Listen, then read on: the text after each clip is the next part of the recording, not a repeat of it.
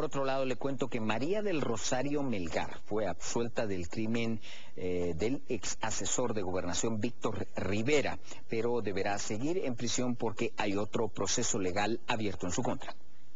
María del Rosario Melgar quedó absuelta de los delitos de asesinato en grado de autora y asociación ilícita por el Tribunal Sexto de Sentencia Penal. Los jueces consideraron que el Ministerio Público no pudo probar dichos delitos que le atribuía a la acusada. Horas antes, la Fiscalía había solicitado en su contra 36 años de prisión. Melgar estaba vinculada a la muerte del investigador venezolano Víctor Rivera, luego de que el Ministerio Público las indicara de haber informado cada movimiento de Rivera que permitió a los sicarios cometer el asesinato.